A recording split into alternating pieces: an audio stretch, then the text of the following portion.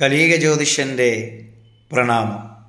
ഞാനിന്ന് വീഡിയോ ഇടാനുണ്ടായ കാരണം ഇന്ന് മഹാശനിമാറ്റത്തിന്റെ ദിവസമാണ്. കുറേ ആൾക്കാർ രാവിലെ തൊട്ട് വൈകുന്നേരം വരെ എന്നെ ഇന്നലെ തൊട്ട് വിളിക്കാൻ തുടങ്ങി. ഇന്നലെ വിളിക്കാൻ തുടങ്ങി അയ്യോ ഇന്ന് രാവിലെ ശനിമാറ്റം എനിക്ക് വലിയ നാശമാണോ വരാൻ പോകുന്നത്? അവിടെ ഇവിടെയൊക്കെ കണ്ടുകൊണ്ട് കുറേ ആൾക്കാർ ഇങ്ങനെ യൂട്യൂബിൽ കണ്ടുകൊണ്ട് വിളിക്കാൻ തുടങ്ങി. നോക്കൂ ഈ ശനിമാറ്റം എന്ന് പറയുന്നത് ഗോചരശാസ്ത്ര പ്രകാരമുള്ളൊരു കാര്യമാണ്. അങ്ങനെയാണ് കണ്ട കണ്ട ശനി ഏഴരണ്ട ശനി അങ്ങനെയുള്ള ശനി വരുന്നത്. ഇപ്പം ശനി നമ്മളെ ദശാകാലം പത്തൊമ്പത് വർഷം അത് കഴിഞ്ഞാൽ ഗോചരശാസ്ത്ര പ്രകാരമുള്ള ശനി രണ്ട് ഏഴ് രണ്ട് ശനി രണ്ട് കണ്ടക ശനി. അപ്പോൾ അങ്ങനെയൊക്കെ നോക്കുമ്പോൾ ശനി ഒരു മുപ്പത് വർഷം നമുക്ക് ശനി അനുഭവിക്കേണ്ടി വരും ഗോചരശാസ്ത്ര പ്രകാരം പിന്നെ പത്തൊമ്പത് വർഷം അല്ലാത്ത ശനി പിന്നെ അപകാരങ്ങളിലുള്ള ശനി. ശനി ഇല്ലാതെ നമുക്ക് ജീവിക്കാൻ പറ്റത്തില്ല. അത് ഇതിന്റെ അകത്തുള്ളൊരു ഭാഗമാണ്. പിന്നെ ഈ ഏഴരാണ്ട ശനി കണ്ടക ശനി എന്നൊക്കെ പറയുമ്പോൾ ഗ്രഹനിലയിൽ വെച്ചിട്ട് അതിന്റെ ഭാവത്തിലുള്ള കാര്യങ്ങൾ ഗ്രഹസ്ഥിതി എല്ലാം പരിശോധിച്ചിട്ട് വേണം ശനി എങ്ങനെ ഓരോരുത്തരെ ബാധിക്കുമെന്ന് ഇൻഡിവിജ്വലായിട്ട് പറയാനുള്ളത്. അല്ലാതെ ശനി ഏഹ്, കണ്ടക ശനിയാണെന്ന് പറഞ്ഞ് വിഷമിച്ചിരിക്കേണ്ട ആവശ്യമില്ല. ചിലപ്പോൾ കണ്ടക ശനി നല്ലതും വരുത്തും. അങ്ങനെയുള്ള രീതിയുണ്ട്. അത് അവരുടെ ഗ്രഹനിലയിൽ പറഞ്ഞു നല്ലൊരു ജ്യോതിഷൻ എന്ന് പറയുമ്പോൾ അവർ ജനിക്കുന്ന ഗ്രഹനിലയിൽ പറഞ്ഞിട്ടുള്ള കാര്യങ്ങൾ അവർ ജനിക്കുമ്പോൾ ഒരു ഗ്രഹനില കാണും. ആ ഗ്രഹനിലയെ റിപ്പയർ ചെയ്ത് നൽകണം. അവരുടെ ഓരോ അപകാരങ്ങളിലും ദശാകാലങ്ങളിലും ഗോചരശാസ്ത്ര പ്രകാരമുള്ള ഏഴാണ്ട ശനികാലത്തും കണ്ടായ ശനികാലത്തും ഒക്കെ ഇത് റിപ്പയർ ചെയ്ത് നൽകണം. ഞാൻ ഇന്നാൾ നിങ്ങളടുത്ത് പറഞ്ഞു നമ്മൾ ജ്യോതിഷം പഠിക്കുന്ന സമയത്ത് എഞ്ചിനീയറിംഗ് ഞാൻ എഞ്ചിനീയറിംഗ് പഠിച്ചതിനേക്കാളും കൂടുതൽ ടെസ്റ്റുകൾ ജ്യോതിഷത്തിൽ പഠിക്കേണ്ടി വന്നു. ജ്യോതിഷ യൂണിവേഴ്സിറ്റിയുള്ള സംരംഭമാണ് അത് അന്ധവിശ്വാസമല്ല. അതിന് ഒരുപാട് ടെസ്റ്റുകളുണ്ട് ആ ടെസ്റ്റുകളെല്ലാം പഠിക്കണം. ഞാൻ തന്നെ പഠിച്ച ടെസ്റ്റുകളൊന്ന് നിങ്ങൾ കണ്ടു നോക്കിയേ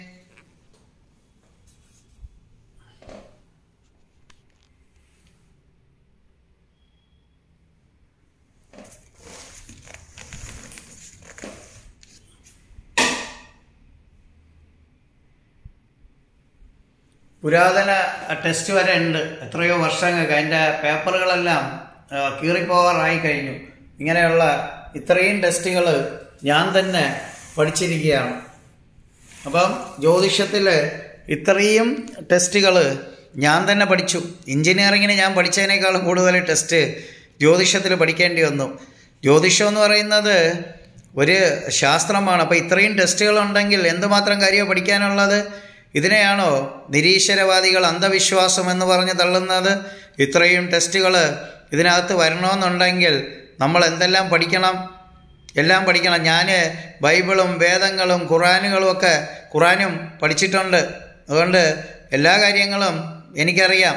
ഇപ്പം ഇതിനകത്ത് ഖുറാനുണ്ട് ബൈബിളും വേദങ്ങളും ഒക്കെ ഉണ്ട്. ടെസ്റ്റിനകത്ത് തന്നെ ഇതാ ഇപ്പോൾ ഇത് ഖുറാനായിട്ടിരിക്കുന്നു അതിനകത്ത് ബൈബിളുണ്ട് ഹസ്തരേഖാശാസ്ത്രമുണ്ട് അപ്പം ഇങ്ങനെ ഒത്തിരി ഇതുണ്ട്. നോക്കൂ ഇത് ബൈബിൾ ഇത് ഖുറാൻ ഇതെല്ലാം ഞാൻ പഠിച്ചിട്ടുള്ളതാണ്. നിങ്ങൾക്കത് നോക്കാം. ഉണ്ടാ ഇത് ബൈബിൾ.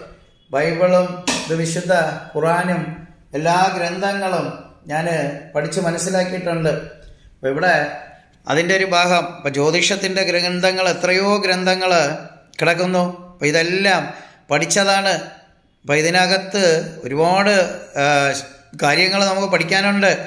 അപ്പോൾ ഒരു എഞ്ചിനീയറിനോ എം ബി ബി എസിനോ നമ്മൾ പഠിക്കുന്നതിനേക്കാളും കൂടുതൽ ടെസ്റ്റുകൾ ജ്യോതിഷത്തിൽ വരും. അപ്പോൾ ഈ ജ്യോതിഷം എങ്ങനെ അന്ധവിശ്വാസമാവുന്നത്?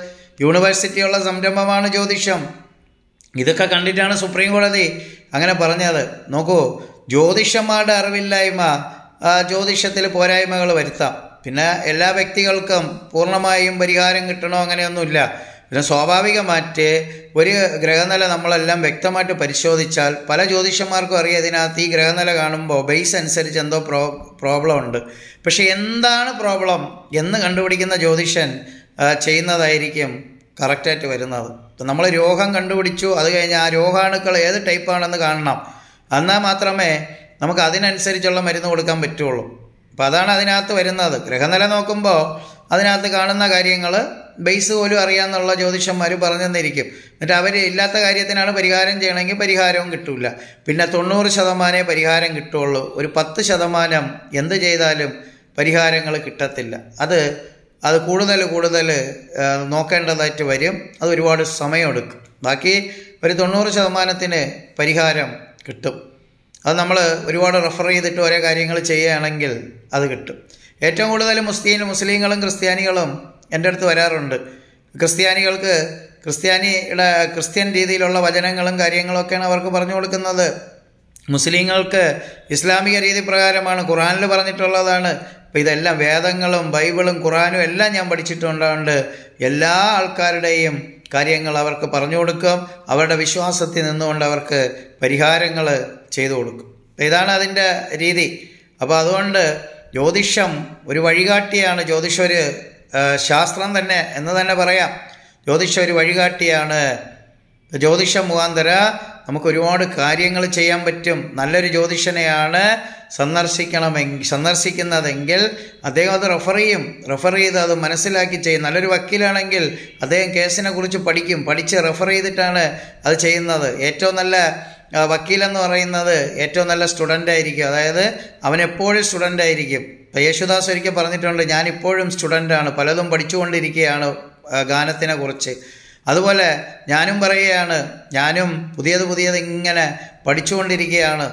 എല്ലാം പഠിച്ച് ഒരുപാട് പഠിച്ചു. എന്നിട്ട് അതിന്റെ ഇടയിൽ പുതിയ പുതിയ എക്സ്പെരിമെന്റുകൾ നടത്തുന്നു. ഇങ്ങനെ നമ്മൾ അത് ഇങ്ങനെ പുതിയത് പുതിയത് കണ്ടുപിടിച്ചുകൊണ്ടേയിരിക്കണം. അതാണ് അതിന്റെ രീതി. ഇപ്പോൾ ജ്യോതിഷത്തിൽ നമുക്ക് ഒരു വ്യക്തിയുടെ ഗ്രഹനില കിട്ടിയാൽ നമ്മൾ അതിന്റെ എല്ലാ ആംഗിളും പരിശോധിക്കും. പരിശോധിച്ച് എന്താണെന്ന് വ്യക്തമായിട്ട് മനുഷ്യ മനസ്സിലാക്കിയിട്ടാണ് കാര്യങ്ങൾ മുന്നോട്ട് കൊണ്ടുപോകുന്നത്. നോക്കൂ നിങ്ങൾ ഒരിക്കൽ കൂടെ നോക്കൂ ഇനി രണ്ട് ലാപ്പ് നിറയെ ലോഡ് ചെയ്ത് വെച്ചിട്ടുണ്ട്. അത് കഴിഞ്ഞാൽ ഇത്രയും പുസ്തകങ്ങൾ ഞാൻ പഠിച്ചു. ഈ ലാപ്പിനകത്തൊക്കെ കസ്റ്റമറിന്റെ ഓരോ ഇതാണ് റിസർച്ചിന്റെ ഇതായിട്ട് രണ്ട് ലാപ്പ് ഇവിടെ വെച്ചിട്ടുണ്ട്. ഇതൊക്കെ ഓരോ പുസ്തകങ്ങളാണ്. ഞാൻ പഠിച്ചിട്ടുള്ള പുസ്തകങ്ങളാണ് ഈ കാണുന്നത്. അപ്പൊ എന്തുമാത്രം ഇത് ടെക്സ്റ്റുകൾ പഠിക്കണം ജ്യോതിഷത്തിനകത്ത് എന്തുമാത്രം ടെസ്റ്റുകളാണ് നമുക്ക് വരുന്നതെന്നുള്ളത് നമ്മൾ നോക്കണം. ഇതുപോലെ വലിയ വലിയ ഗ്രന്ഥങ്ങൾ ഇതെല്ലാം ഇതൊക്കെ പഴയ ഗ്രന്ഥങ്ങളാണ്. ഇതിനകത്ത് പേപ്പറുകൾ പോലും മാറിപ്പോയിട്ടുണ്ട് ദ്രവിച്ചു പോയിട്ടുണ്ട്. ദാ ഈ പേപ്പറൊന്നും എടുക്കാൻ പോലും പറ്റില്ല. ഈ ലിപികൾ പോലും നമുക്കറിഞ്ഞൂടാ. അത്ര പഴക്കമുള്ള പുസ്തകങ്ങളെല്ലാം പഠിച്ച് റിസർച്ച് ചെയ്യുന്ന ഒരു വ്യക്തി കൂടിയാണ് ഞാൻ. കലിക ജ്യോതിഷം അങ്ങനെ റിസർച്ച് ചെയ്യാറുണ്ട്. എന്നിട്ടാണ് ഇത് ഇവിടെ വരുന്നവർക്ക് അവരുടെ കാര്യമൊന്നും പറയണ്ട. അവരുടെ ഡേറ്റ തന്നിട്ട് വായടച്ചിരുന്നാൽ ബാക്കിയെല്ലാം നമ്മളാണ് പറയുന്നത്. നിങ്ങൾ എന്തിനാണ് ഇവിടെ വന്നു എന്നുള്ളത് പോലും നമ്മൾ അവരുടെ അടുത്ത് പറയും. അതാണ് അതിന്റെ ശക്തി. കലിക ജ്യോതിഷം അങ്ങനെയാണ്. ദ അപ്ഗ്രേഡേഷൻ ഓഫ് ജ്യോതിഷം. ഇപ്പം ശനിയെക്കുറിച്ച് നിങ്ങളാരും ഭയക്കുകയൊന്നും വേണ്ട ധൈര്യമായിട്ടിരിക്കുക. ശനി മാറുന്നത് കൊണ്ട് അത് അമ്പ ഓരോ ഭാവത്തിൽ വരുന്ന രണ്ടേകാൽ നക്ഷത്രത്തിന്റെ ഭാവം അനുസരിച്ചാണ്. അതിന് കോടിക്കണക്കിന് മനുഷ്യരുണ്ട്. പക്ഷേ അവരുടെ എല്ലാം ഗ്രഹനിലയും കൂടെ വെച്ച് നോക്കിയതിന് ശേഷമാണ് ബാക്കിയെല്ലാം തീരുമാനിക്കേണ്ട ഓരോരുത്തർക്കും വ്യത്യസ്തമായിരിക്കും ശനിയുടെ പ്രവർത്തനങ്ങൾ. അതുകൊണ്ട് നിങ്ങൾ ടെൻഷനൊന്നും അടിക്കേണ്ട. ഹാപ്പി ആയിട്ടിരിക്കൂ. നിങ്ങൾക്ക് എല്ലാ പേർക്കും കലീക ജ്യോതിഷന്റെ നന്ദി നമസ്കാരം പ്രണാമം.